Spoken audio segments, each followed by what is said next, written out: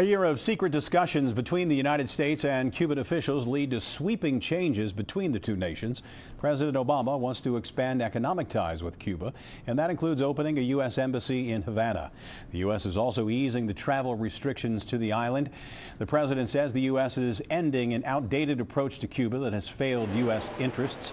Meanwhile, a man held in a Cuban prison for five years is back on American soil tonight. Alan Gross has been working for a subcontractor for a U.S. government agency when he was arrested. The CBS Evening News will have more on the release of Alan Gross tonight following our news.